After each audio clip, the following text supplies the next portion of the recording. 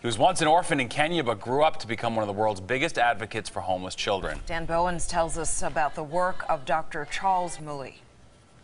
People called me crazy because they did not know what are you after. Charles Mully had it all, a businessman making big money in Kenya. I started doing business, taxes, and through that it grew. I had buses, and then I was appointed to become a distributor of oil products as well as a, a gas and also insurance company. He was a millionaire in the African nation where many live on just dollars a day. I made money, I became wealth, I became uh, uh, rich. And yet something was missing. I sold everything. And that's when he found everything. With the profits after liquidating his company, he and his wife and their eight children started the Mully Children's Family. We have a kindergarten for all the little kids. We have primary school. We have also secondary school. We have vocational training. We have a, um, a college. And now at this time, I'm building a university. We are not waiting to be rescued. We are working to rescue others. This is my family. This is my home.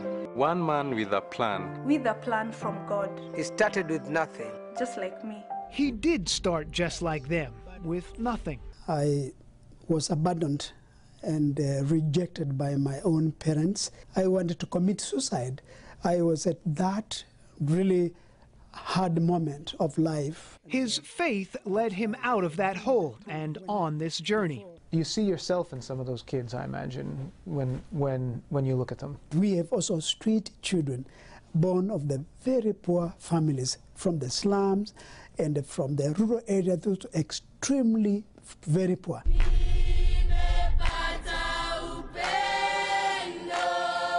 A new film details the work of the charity. We can't let this happen. We have to do something. When you feel for others, that is the beginning of you becoming selfless. They have successfully saved more than 12,000 children.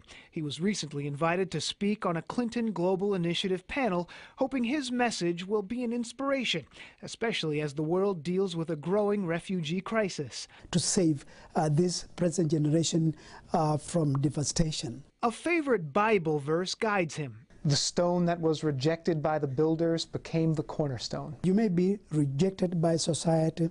You may meet all the problem that we can mention. You may be born of a prostitute. You may be have been thrown completely somewhere in a corner.